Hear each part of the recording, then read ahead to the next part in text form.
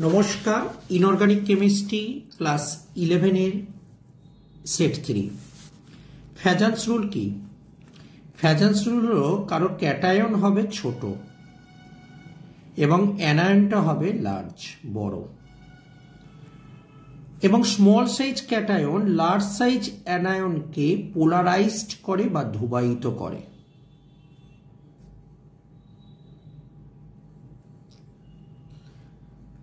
এবং ক্যাটায়নের চার্জ যত বাড়বে, তত সাইজটা স্মল হবে এবং তত কোভ্যালেন্সি বা সমযোজিতা বাড়বে। অ্যানায়নের চার্জ যত বাড়বে, সাইজটা লার্জ হবে এবং কোভ্যালেন্সি বা সমযোজিতা বাড়বে। তাহলে কি কি পয়েন্ট বললাম? ক্যাটায়ন ছোট হবে অ্যানায়ন বড় হবে, ছোট আকৃতির ক্যাটায়ন, বড় আকৃতির অ্যানায়নকে বা small size cation large size অ্যানায়নকে polarised করে। আর ক্যাটায়নের চার্জ ইনক্রিজ করলে সাইজ স্মল হয় অ্যানায়নেরও চার্জ ইনক্রিজ করলে সাইজটা লার্জ হয় এবং কোভ্যালেন্সি বা সমযোজিতা বাড়ে। Second point CO three two মাইনাসের সব বন্ড সেম কেন? দেখো সিও থ্রি টু মাইনাসের স্ট্রাকচারটাকে আঁকলাম। এবার আমি এই স্ট্রাকচারটাকে রেজোনান্স করছি। তাহলে রেজোনেন্স করলে কেমন দেখতে হবে? সি এটা ডবল বন্টন আর এটা ওপরে উঠে গেছে ও মাইনাস আবার দেখো, এইটা। তাহলে আমরা কি অবজার্ভ করছি? আমরা দেখছি সিও থ্রি টু মাইনাসের এই যে কার্বন আর যে তিন দিকে অক্সিজেন রয়েছে, এই যে ইলেকট্রনগুলো এগুলো কি হচ্ছে? ছড়িয়ে যাচ্ছে চারিদিকে। তাই তো? তো, এবং সবচেয়ে ইন্টারেস্টিং ব্যাপার, এই যে স্ট্রাকচার এই স্ট্রাকচার বা এই স্ট্রাকচার এবং এই স্ট্রাকচার দেখো ইকুইভ্যালেন্ট ইকুইভ্যালেন্ট কি করে বলছি? সবগুলোতেই কার্বন আছে ডবল বন্টও রয়েছে, দেখো double bond O minus O minus O minus O minus তার মানে ইকুইভ্যালেন্ট রেজোনেটিং স্ট্রাকচার দিচ্ছে। সমতুল্য রেজোন্যান্সের গঠন দিচ্ছে। যে কারণের জন্য সব বন্ড লেন্থ সেম হয়। পরেরটা বলেছে ড স্ট্রাকচার স্ট্রাকচার ড করতে বলেছে এক্সিএফ ফোর তাহলে এক্সিএফ ফোর এটা হলো আট প্লাস চার ইন্টু ওয়ান মানে হলো বারো। তাহলে পেয়ার কতগুলো হবে? বারো বাই দুই মানে হচ্ছে ছটা। লিগ্যান্টের সংখ্যা চারটে, তার মানে লিগ্যান্ট চারটে মাইনাস করলাম, তার মানে লোন পেয়ার হচ্ছে দুটো। যেহেতু পেয়ার সিক্স হয়েছে পেয়ার সিক্স হলে কেমন স্ট্রাকচার হয়? এই অক্টেডাল প্যাটার্নটার হয়। তাহলে জেনন এই যে fluorine fluorine fluorine fluorine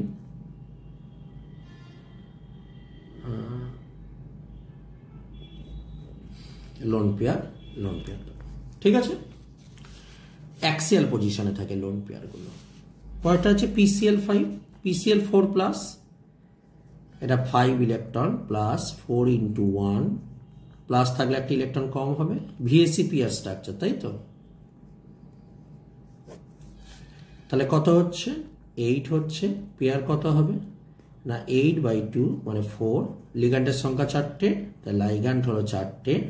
minus করে দাও মানে জিরো তাহলে ফসফরাস চারটে ক্লোরিন দিয়ে দিলে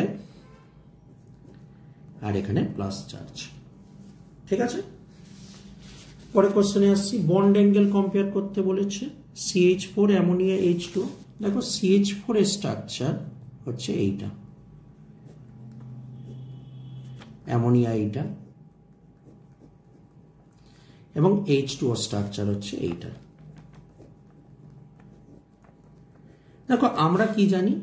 Lone pair lone pair repulsion সবচেয়ে বেশি, তারপর হলো লোন পেয়ার বন্ড পেয়ার তারপর হলো sorry lone pair lone pair সবচেয়ে বেশি, তারপর লোন পেয়ার বন্ড পেয়ার তারপর হলো বন্ড পেয়ার বন্ড পেয়ার তো এখানে দেখো বন্ড আছে, তাই এখানে বিপি বিপি রিপালশন এটার ক্ষেত্রে দেখো লোন পেয়ার আর bond pair repulsion lone pair আর বন্ড পেয়ার রিপালশন আর এইটার ক্ষেত্রে এই দিকটা তাই লোন পেয়ার বন্ড পেয়ার এই স্ট্রাকচারে দেখো, এই lone pair lone pair repulsion lone pair আর বন্ড আছে lone pair bond pair repulsion আর এটাও দেখো লোন পেয়ার আর বন্ড আছে lone pair bond pair repulsion তাহলে সব থেকে বেশি রিপালশন কোথায় কাজ করছে? দেখো, এখানে রিপালশন কাজ করছে। যার ফলে এই হাইড্রোজেনগুলো ভেতর দিকে ঢুকে যাচ্ছে কন্ট্রাক্ট হয়ে যাচ্ছে। ফলে এর বন্ড অ্যাঙ্গেলটা কি করে দিচ্ছে? লেস করে দিচ্ছে। তারপর রিপালশন কোথায় বেশি হচ্ছে? তারপর এখানে হচ্ছে। দেখো lone pair bond pair repulsion হচ্ছে। তাহলে হালকা ঢোকাচ্ছে। ফলে এই অ্যাঙ্গেলটা এর থেকে কি হবে? বেশি হবে। আর এখানে রিপালশনটা কি হচ্ছে? একেবারে কম।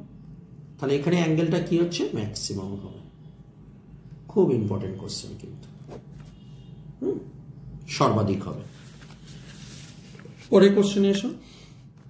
সিও টু নন পোলার কেন সিও টু নন পোলার দেখো দিস ইজ সিও টু এটা যদি মিউ ওয়ান এখানে যদি মিউ ওয়ান কাজ করে তার রেজাল্টের ডাইপোল কত হবে?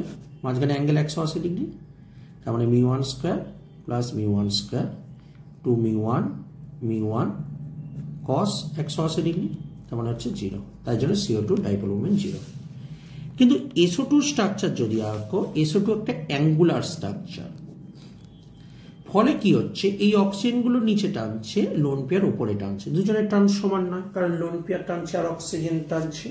তার মানে কি হচ্ছে? অল্প পরিমাণে হলেও এর একটা ডাইপোল মোমেন্ট বা দ্বিমেরু ভ্রামক আছে। ঠিক আছে?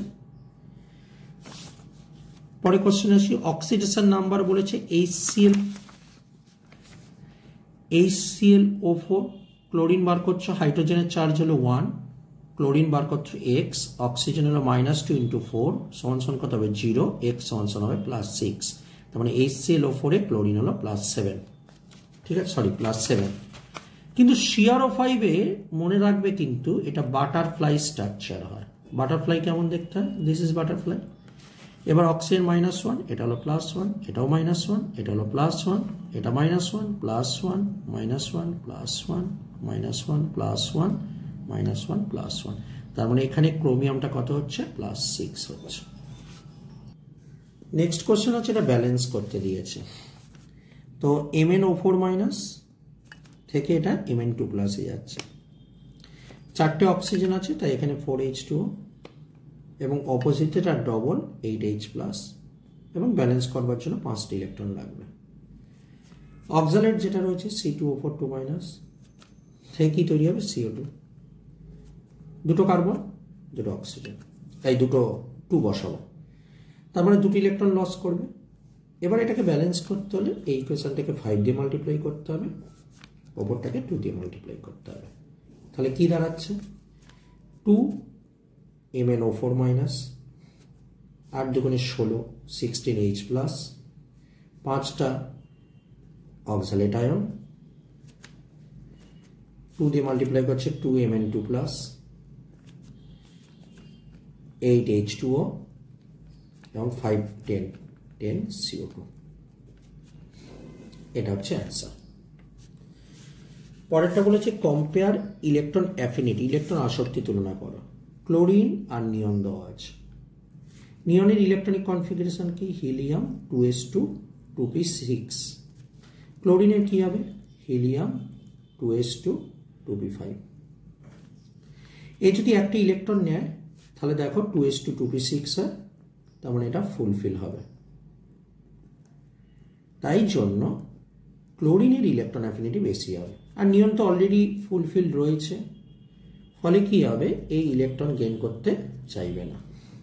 তাই ক্লোরিনের ইলেকট্রন অ্যাফিনিটি বেশি হবে নিয়নের থেকে। Give example Lewis acid and Lewis base Lewis acid example কি হবে? এল সিএল থ্রি কেন লুইস অ্যাসিড? কারণ এর তিনটে বন্ড আছে। ওয়ান টু থ্রি তিনটে বন্ড মানে থ্রি ইন্টু টু ছটা ইলেকট্রন রয়েছে। তার মানে দুটো electron deficient deficient to form octet octet তৈরি করবার জন্য দুটো ইলেকট্রন কম আছে। তাই জন্য এল সিএল থ্রি একটা ভালো লুইস অ্যাসিড।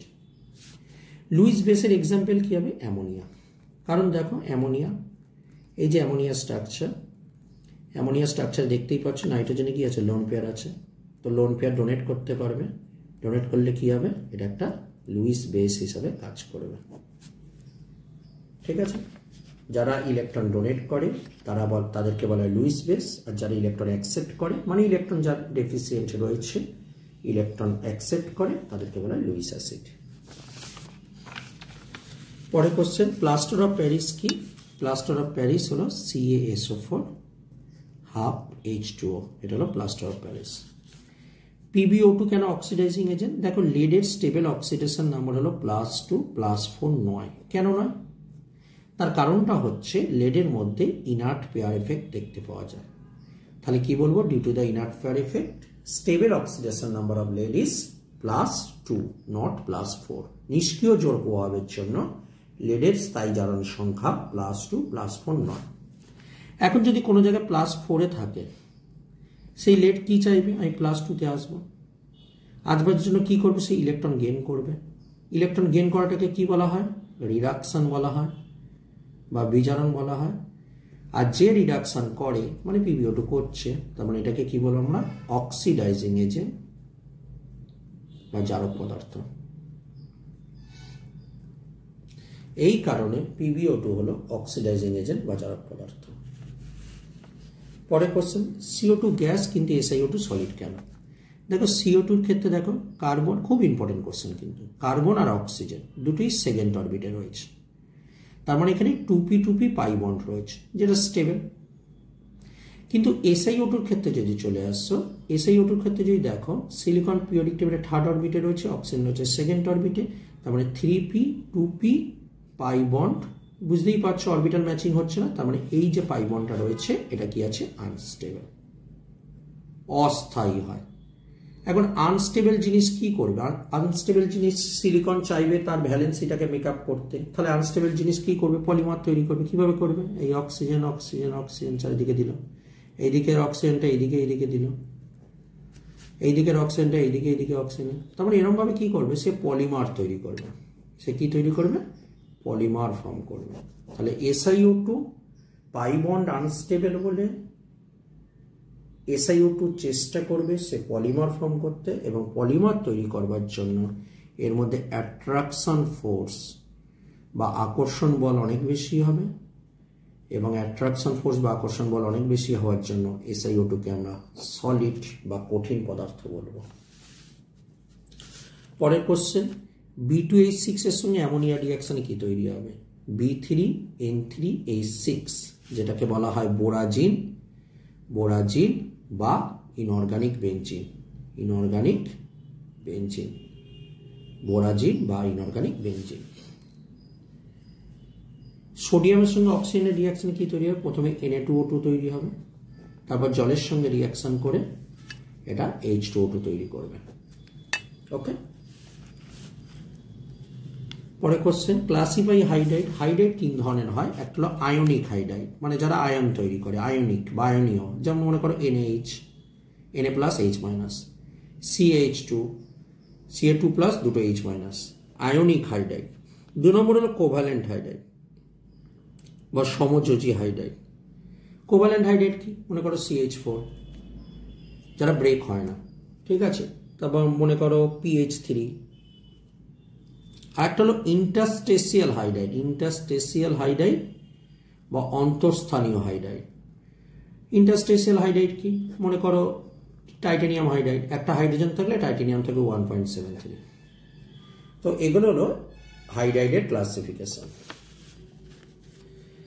তো পরের কোশ্চেন হলো মিল্ক অফ ম্যাগনেসিয়া কি? দেখো, milk of magnesia Mg OH whole two এটাকে মিল্ক অফ ম্যাগনেসিয়া বলে। এটা কি কাজে লাগে? এটা হলো যে কোনো অ্যাসিডকে নিউট্রালাইজ করবার জন্য, বিকজ এটা একটা বেস। তাই জন্য এটা কি বলতো? অ্যান্টাসিড হিসাবে কাজে লাগে। বুঝেছ? হ্যাঁ মনে করো অ্যাসিড হয়ে গেছে। তখন কি হয়? না, আমাদের পাকস্থলী যে রয়েছে। সেখান থেকে যদি বেশি পরিমাণে এসিএল লিবারেট হতে থাকে, তখন কি হয়? আমাদের মিল্ক অফ ম্যাগনেসিয়া খেয়ে নিলে ওটা নিউট্রালাইজড করে দেয়, ফলে অ্যাসিড আর হয় না। পরেরটা বলছে ক্যালগন কি? ক্যালগনটা হলো Na two Na four PO three whole six এটাকে বলা হয় ক্যালগন। এটা কি কাজে লাগে? ক্যালগনের কাজ হলো হার্ড ওয়াটার মানে খড়ো জল। সেটাকে সফট ওয়াটার বা মৃদু জলে রূপান্তরিত করে। তাহলে ক্যালগন কি করে? হার্ড ওয়াটার থেকে সফট ওয়াটারে কনভার্ট করে। তো এই ছিল আমাদের সেট থ্রি কোশ্চেন পরবর্তীকালে আমরা সেট ফোর কোশ্চেন ডিসকাস করব। আশা করব ভিডিওটা তোমার এক্সামের জন্য উপকারে আসবে। নমস্কার।